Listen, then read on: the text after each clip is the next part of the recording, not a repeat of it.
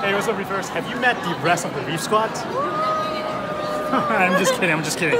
So I'm feeling much better now. Just got out of concert. We're kind of uh, waiting to get out start filming the intro. There's a lot of things I really want to cut together and show you guys, but I did not get a chance because I was too sick. However, finally got a chance to put something together. So, enjoy. Hey, what's up, Reefers? There are three things I want to share with you guys today. Number one, feeding frogfish mochi.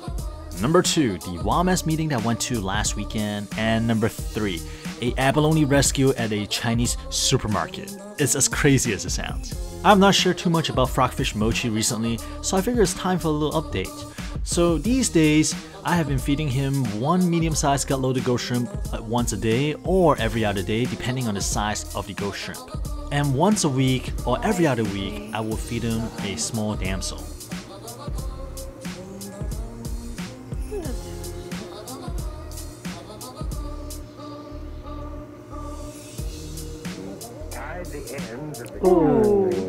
One feeding Event Dude out because this shrimp is just straight up ninja. It's a ninja shrimp. Just take a look.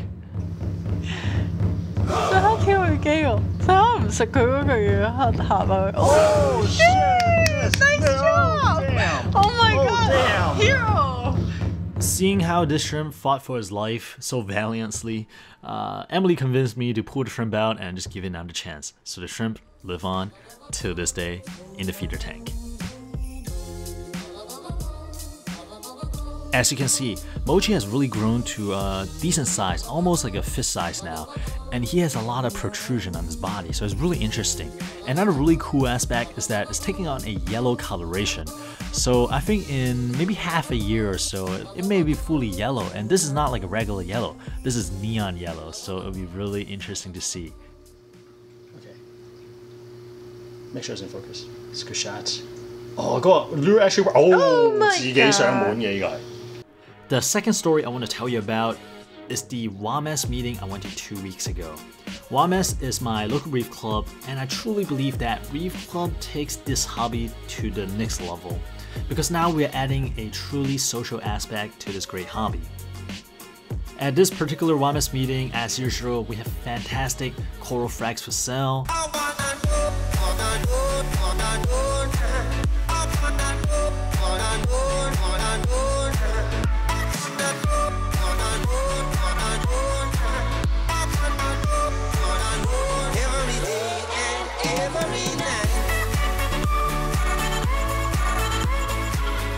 Are you, you lost? Feel lost? It's like, what's going on? Yeah. Yeah, I like, I like your shirt. Why am I here? you want to say anything?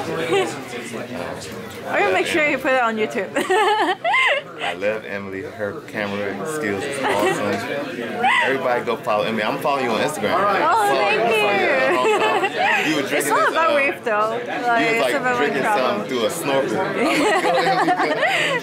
yeah, definitely. Shout out to Emily. Julian, he's really a man that needs no introduction. Uh, I said it before with Sanjay, if there was a Mount Rushmore in our hobby, Julian would be one of the smiling mugs on it. Um, even a, you know, a 30 or 40 watt uh, centrifugal pump. This thing's just gonna go on and on and on and on, it's gonna last. So this is a reasonably good option if you maintain the battery and of course battery. And this time we invited Mr. Julian Sprung to talk to us about disaster planning. After the large big hurricane that hit Florida, Mr. Julian Sprung went through quite a bit and he got lots of tips to give out, which is fantastic because it's not something that we always think about. Right after the presentation, we have a bunch of raffles and Mr. Sprung won a well-deserved MP40. nice. I like that. Yes, it is. Wait, what? What?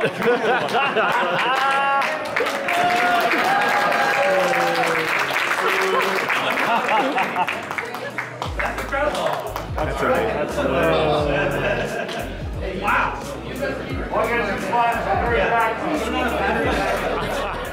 I was able to bring home four liquid bottles of ocean nutrition food, including oyster feast, which I had been meaning to buy, so it was an awesome day in my book.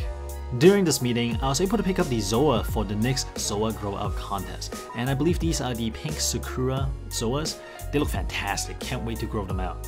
I also gave Mighty Nanotank aka Ben a small bag of great macroalgae. So I think he's probably planning to do some uh, macroalgae eating videos soon. Stay tuned on his channel.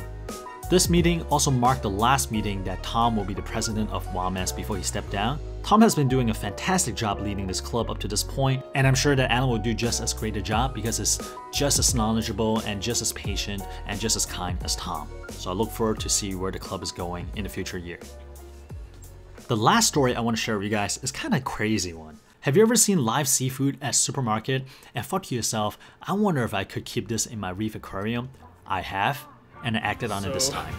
We actually see live abalone, farm abalone. And this should be saltwater.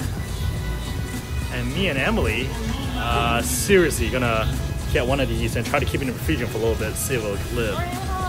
Uh, yeah, whoa.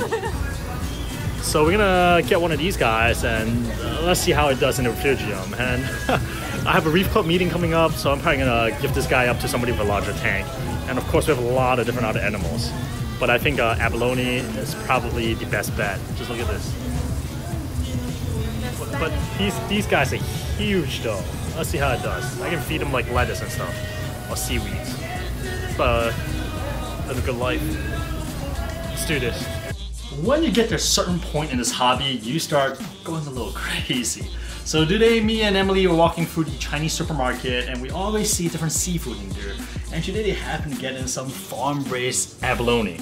Uh, so seeing how it's $7 each, uh, I thought, you know what, let's, let's give it a try. Especially because like, I was able to see the mouth of the abalone. It was actively scraping algae off the tank. Uh, so here we are, here we are. I, I figure like at the worst, if it really didn't work out, we can just cork it. I posted an image of this on Instagram at Inappropriate Reefer, and somebody actually brought up a really good point. Not all abalone are tropical, and I'm not sure if this one is. So that's what we're actually gonna test first. I actually got a lot of these. Uh, I bought a pack of three thermometer, and they all measure pretty similar. So I think they're relatively accurate. So I'm gonna drop this probe inside the water. We just came from outside, so it may be a little bit low as well. So we're reading 70.5. That's quite low because tank is, I've been running tank around 77, 76, 77. So it will definitely take some acclimation. Uh, interestingly enough, margarita snails, one of my favorite snail, which is commonly sold in the reef aquarium hobby, is also coming from water temperature around here. So they're able to be acclimated to tropical temperature, but they do live shorter as a result. And Okay. to double check, I got this uh, infrared thermometer. So I can eat it earlier. So with this, it's actually 72. So we're gonna let the probe soak for a little bit to see, and here's 72. Uh, in the meantime, we are going to uh, test for the specific gravity. And it's funny, because for my reef tank, I use a swing arm hydrometer, but for something like this, I'm actually busting out the uh, refractometer. So let me just rinse the pipette first. Looks professional. And then we're gonna do three drops, make sure it's covered, and then we're gonna lay down the little thing, and then we'll look into the light. Don't you need to raise it? Oh, dude, salinity is perfect. It's one, uh, the salinity is at 1.026, so this matched perfectly to uh, aquarium Can I water. take a look? Of course, here. So you gotta look into a light, point it to light. You see how there's like a there's a blue and then white. Look into a light. Turn turn towards the light. Alright. And the dividing line right there tells you what is the salinity. I think it's at 1.026 or 1.027. 1.025. Oh, 7. Okay. 1.027? Yeah. Okay. Wait! For acclimation, I really like the Innovative Marines drip system. Basically, just squeeze this just start the prime and water flows through. Usually, I like to let it run a little bit to kind of flush out whatever was in the tube before. Um, I used this maybe two, three days ago, so the water should be relatively clean, or the tube should be relatively clean. And now you use this little thing, the IV drop controller, to control the rate.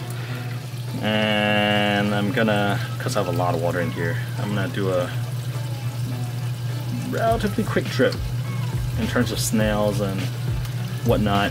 We're gonna drip, we're gonna fill maybe like to here, and then we're gonna dump out the water and continue to drip It's like he's struggling. He's Help moving around. me! It's like it's ready for food. Look at the check. Look at the refugium.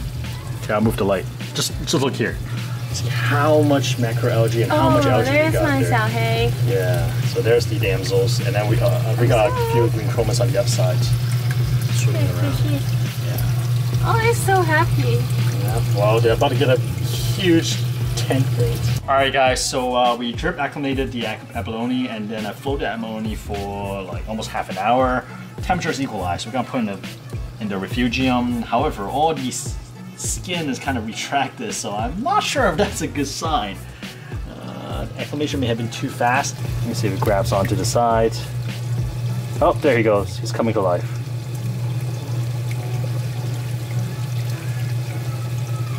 Not holding on yet, but he is reaching out with his uh, foot. See how his now he's expanded. I'm just gonna place him at the bottom because he is not grabbing onto things. Just place him on a flat side like this, and then we'll see how he does. Alright guys, as you can see here, the abalone experiment has failed. Um, he did not last one night in, uh, in the reef tank. And I think the culprit is probably temperature. Salinity is the same, so it's really the temperature that did him in. Ultimately, it was a failed attempt, and I probably won't try it again unless I have a temperate aquarium. However, nothing went to waste, and now the frozen abalone will make an appearance at my next hot pot party, just as it was intended to at the supermarket. Alright guys, with that said, these are the three stories that I wanted to share with you guys today. I hope you enjoyed it. If you did, leave a like, leave a comment, and let me know which of the three stories was your favorite. And I'll see you guys next Sunday at 9.30 a.m. sharp. See you.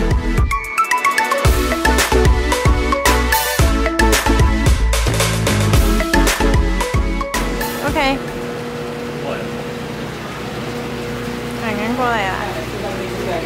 Hey, what's up, reefers?